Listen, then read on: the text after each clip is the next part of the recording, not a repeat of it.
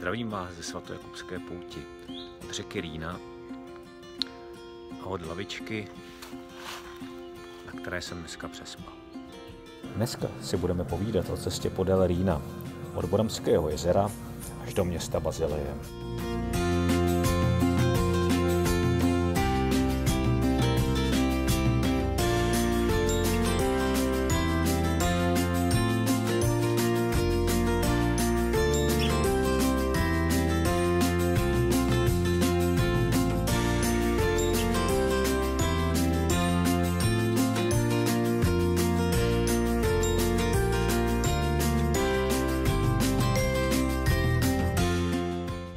Takhle vypadá státní hranice mezi Německem a Švýcarskem.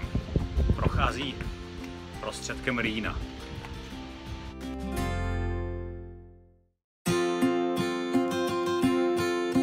Tohle je taky dobrý, když jsou na břehu řeky dvě města, dva kostely, dvě radnice.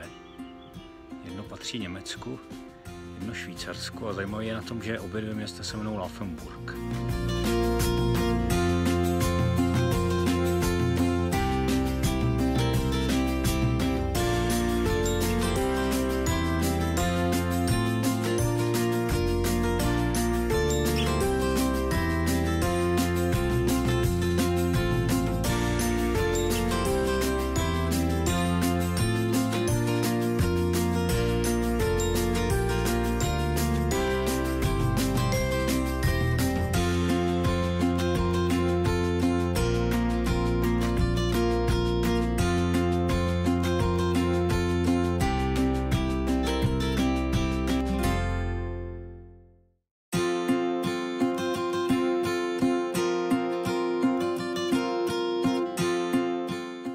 Nebejt to, že jsem si včera rezervoval ubytování Bazilii, tak bych to cestou asi už někde zapích. Já jsem opravdu unavený už.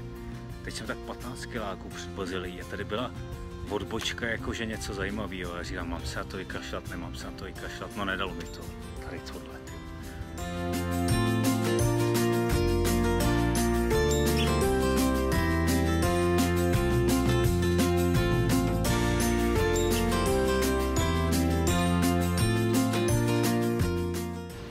Dojet na kole do švýcarské Bazilie mě zabralo 7 dní. Asi 800 kilometrů. A tak si dávám teď chviličku pauzu, abych se dal trošku dohromady a mohl zítra pokračovat.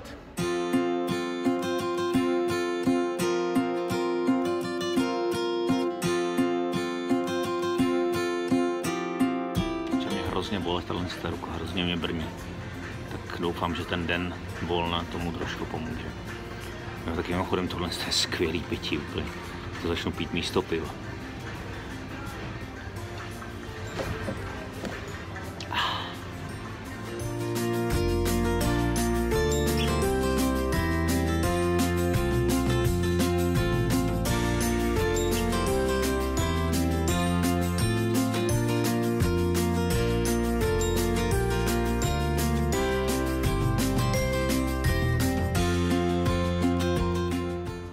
Tady v Bazilii se loučím s řekou Rýn.